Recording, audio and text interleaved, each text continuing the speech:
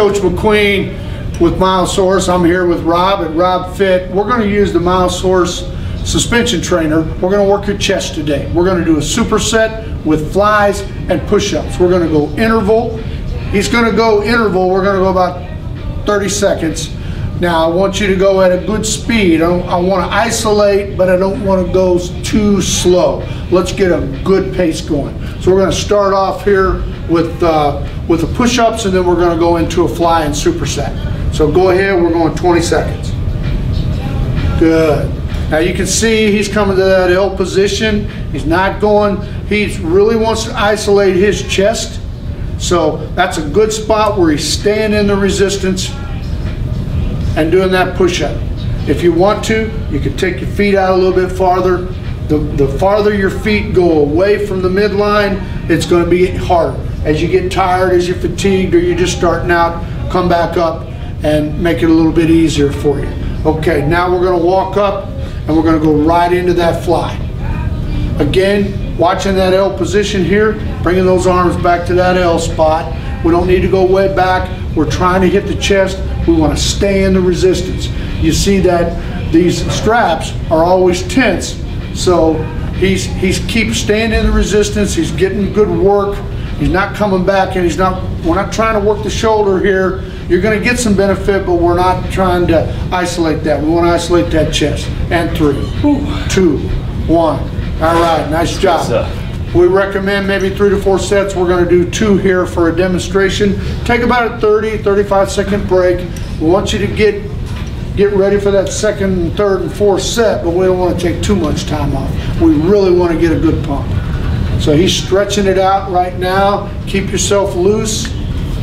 And then we're going to get right back into it. We got about five seconds here. So he's going to get ready. Uh, you can work on different grips. You know, work the lower chest, mid or upper chest, whatever works for you. And you can rotate. You ready to go, buddy? Let's do it. All right, let's go. Good. Right now, he's at about he's at about midway with his feet. He's getting good resistance. Maybe if you start out with your feet way back or wherever you're comfortable on that first set, the second set, then you can sort of bring it in as you get to that third and fourth set. This time we're doing intervals. It's really, you know, you can work sets, you can work reps, so you can go 10 reps, 15 reps, or you can do interval training, 15, 20, 30 seconds, or you can go to failure. If you really want to build real strength, strength, then try that going to failure. Three, two, one. All right, nice job. He's going to go right into that fly. Good job. He's at about mid-range here. Got those feet. Again, he could come up a little bit or he could go back and he can make his adjustments for the level of resistance that he wants. The straps are staying staying tight. If you kind of jerk and you move around and you then you're not staying in the resistance. You want to isolate and fire those muscles the entire time that you're doing it. Nice job. Again, let's go four sets.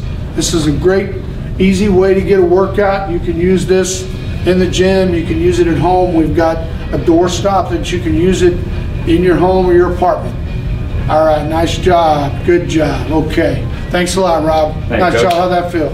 That was good. I mean, feeling out of your upper chest, switching your grip and adjusting. You're feeling your lower chest. Your triceps get that work. Your shoulders are getting a little bit of work. And best part about the suspension, I love that work on the core. So Uh, it is a it is a core deluxe. if you want to get right. that six pack,